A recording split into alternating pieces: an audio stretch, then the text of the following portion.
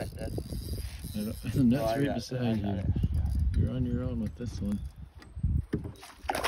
Oh, it's a big pike minnow. It's a big